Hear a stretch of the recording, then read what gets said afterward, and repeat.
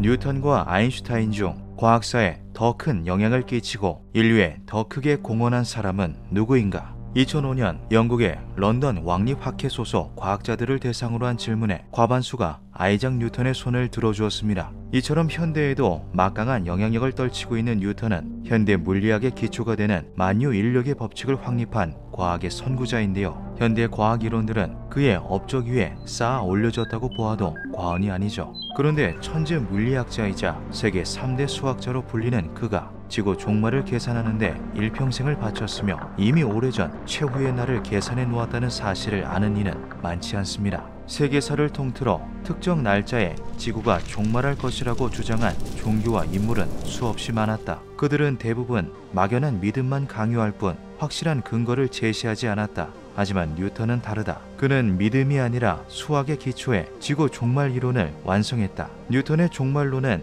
예언이나 전설이 아니라 공식에 가깝습니다. 그가 1680년부터 1704년까지 작성한 노트를 보면 풀이 과정을 엿볼 수 있는데요. 그는 구약 성서의 27번째 책 다니엘서와 신약 성서의 마지막 책 요한계시록에 동일한 숫자들이 반복적으로 등장한다는 것을 알아냈고 이들이 서로 긴밀하게 연결되어 있다는 가설을 세웠습니다. 그는 이 숫자들이 심판의 날, 즉 종말을 암시한다고 여겼으며 숫자와 관련된 성서의 내용을 토대로 일곱 가지의 요점을 정리하였죠. 이렇게 여러 전제를 세워서 하나의 결론을 이끌어내는 것은 수학자들이 난제를 풀기 위해 사용하는 방식 중 하나인데요. 그는 예언서에 나오는 숫자, 문장, 단어를 수식화하여 하나의 공식으로 정리한 뒤 이것으로 시작점이 되는 연도를 추정, 그로부터 2, 300주야 후 심판의 날이 올 것이라는 계산을 내놓습니다.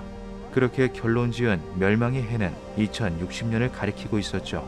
1704년 뉴턴은 이러한 내용들을 한데 모아 다니엘의 예언과 요한계시록에 관한 평론이라는 책을 출판하기도 했습니다. 하지만 이는 20년에 걸쳐 작성된 연구 기록 중 일부로 사람들은 아직 공개되지 않은 기록이 더 있을 거라고 추정했는데요. 이런 추정은 2020년 12월 9일 세계적인 경매회사 소더비에 뉴턴의 종말 연구 노트가 출품되면서 사실로 밝혀졌죠.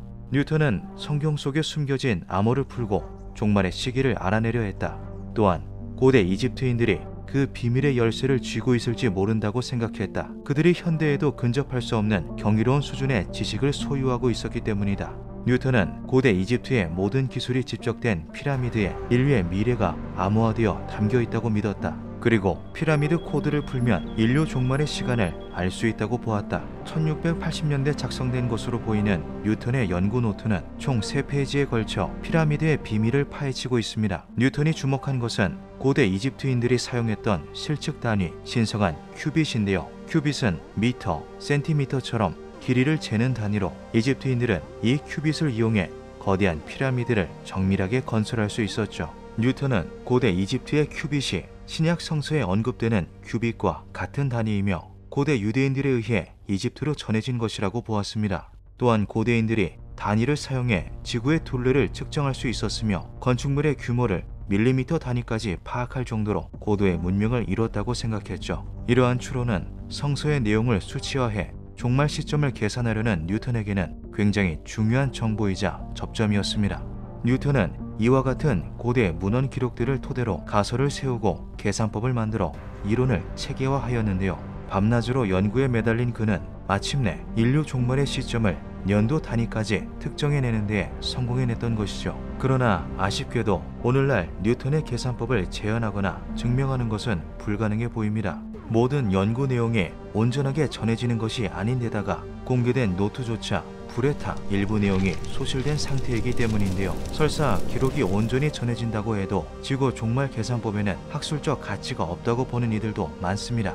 그가 종말과 피라미드 연구에 빠져 있었던 때는 라이벌이었던 로버트 훅에게 비판을 받은 이후로 학계를 떠나 은거 생활을 하던 때였죠. 혹자는 종말이라는 비과학적인 어감에 거부감을 보일 수 있으나 뉴턴이 완성한 대부분의 이론은 실제적이고 정확했다. 뉴턴이 언급한 종말은 지구상의 마지막 인류가 사망하는 최후의 날을 뜻한다. 이는 1973년 MIT가 만든 1세대 AI 월드원이 내놓은 예언과도 어느 정도 일치한다. 당시 월드원은 2020년을 기점으로 자연 자원이 감소하고 삶의 질이 극적으로 저하될 것이며 2040년쯤에는 우리가 누리는 문명이 무너져 내릴 것이라 예고했다. 인류 역사상 최고의 물리학자이자 성서의 내용을 탐구한 신학자이기도 했던 아이작 뉴턴. 그가 내놓은 마지막 이론 역시 먼 훗날 실현을 앞두고 있는 걸까요?